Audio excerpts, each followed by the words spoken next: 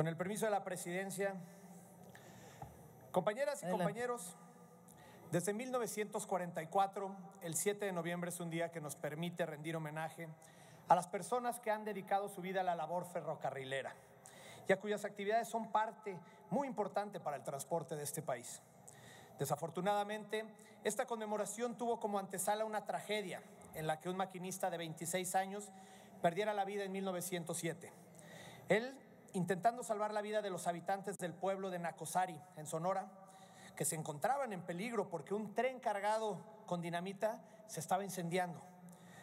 Perdió la vida este joven, pero salvó al pueblo de Nacosari, lo que eso ocasionó que se reconociera el trabajo ferrocarrilero. La industria ferroviaria es de gran importancia para el desarrollo de nuestro país. No solo se encarga de transportar pasajeros, sino que también transporta productos de primera necesidad. El legado que han dejado los ferroviarios en nuestro país es incuestionable. Hoy tenemos la oportunidad de reconocer su trabajo, su dedicación y su esfuerzo. Todo esto lo han realizado por el bien de nuestro país, por México.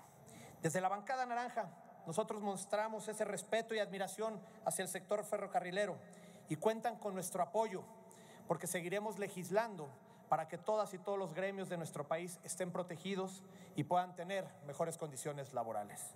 Es cuanto, Presidenta. Muchas gracias, diputado Sergio Barrera Sepúlveda.